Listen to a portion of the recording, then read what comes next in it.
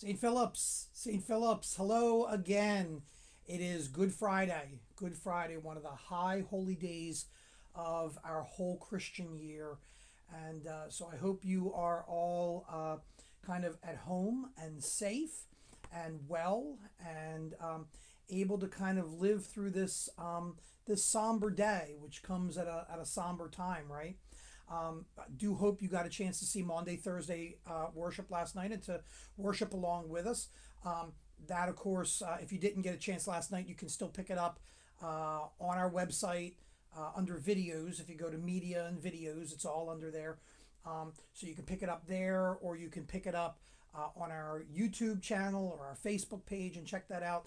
Um, also, tonight uh, at 7 o'clock, um, we'll have worship that will go online at 7 o'clock.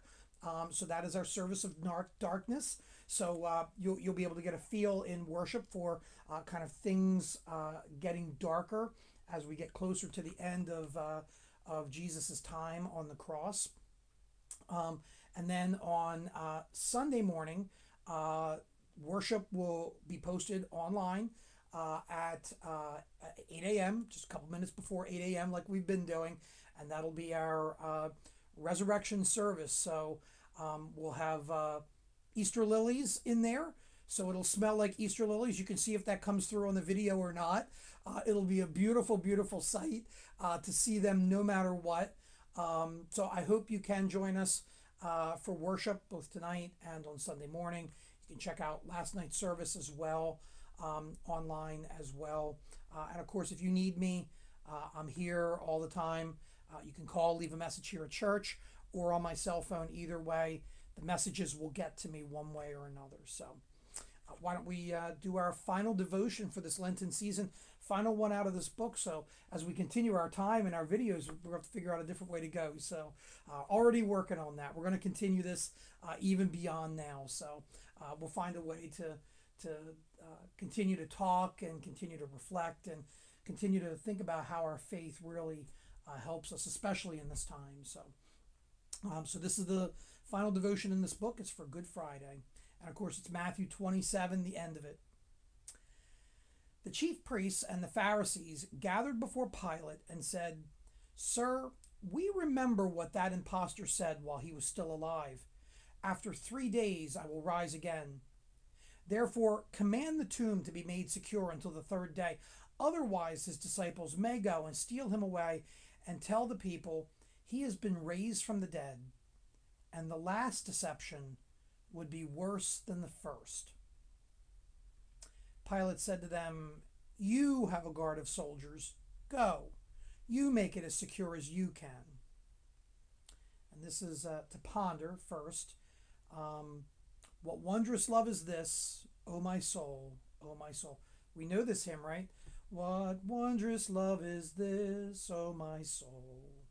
What wondrous love is this that caused the Lord of bliss to bear the dreadful curse for my soul, for my soul, to bear the dreadful curse for my soul. So the reflection today is entitled, What Wondrous Love Is This? The last deception would be worse than the first. In the minds of the chief priests and the Pharisees, just what is the first deception? That Jesus was able to rally a following? Are they jealous of Jesus' popularity? Do they fear a possible uprising? Or are the chief priests, Pharisees, Pilate, and all the people who surround Jesus unable to come to terms with his wondrous love. Political leaders tend to rely on power, maneuvering, political clout. In their minds, Jesus, the fir- Jesus' first deception might be love wins. But as the chief priests and Pharisees continue to plan and plot, we are just one resurrected breath away from the truth. Fast forward 2,000 years, many people still rely on power and political clout to make their way in the world. It is up to the baptized community of the crucified one to both carry and live his message that love wins. What wondrous love is this, O my soul? It is the wondrous love of Jesus who was slumbering in the tomb and who is about to come to life forever. Uh, a line out of that reflection uh, really jumped out at me today. Um, it says this, it, it, I'll read it again. It says, It's up to the baptized community of the crucified one to both carry and to live his message that love wins. Uh, that really jumped out at me when I read this earlier this morning. Um, I, we got a card and we, we've been getting a lot of things in the mail, a lot of people sending in offerings, but a lot of people also sending in cards uh, to me and to Lisa because uh, we're kind of here alone right now. Uh, so uh, just kind of letting us know that uh, they, they love us, they miss us. Um, but I got a card today, this morning. Uh, mail's been coming really early in the morning.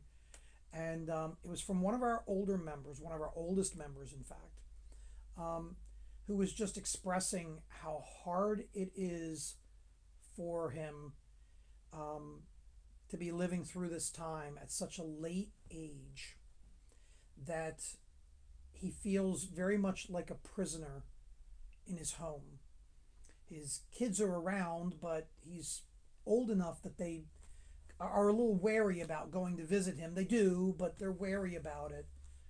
And so he just feels very much like a prisoner. And he reflected on the days that he gets to come to worship and how much it means to see the people and to be a part of a community, one that is itself getting younger here uh, as more people are joining, or maybe it's that he's getting older. I don't know. Um, but that nonetheless, it becomes the place where he experiences love and grace and life.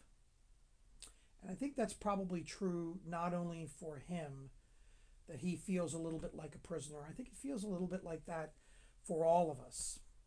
I know this gentleman in his um, in his uh, card to me uh, kind of expressed how he really hopes that given his age that there will be a day when he can get back to his St. Philip's family again. But he's worrying that the days are growing few. And I'm reminded of that line out of this reflection again today. It's up to the baptized community of the crucified one to both carry and live his message that love wins. How are we doing that in this time? How would we bring it to this gentleman that love wins? That as much as he feels like a prisoner, that the love that he experiences when he's here exists not just when he's here, but when he's trapped in his home as well. What can we do? What note can we send him? What phone call can we give him? What little gift could we drop on his porch for him to have, hang on his doorknob? What expression could we do for him? What can we do for one another? And I think that's really important in this time.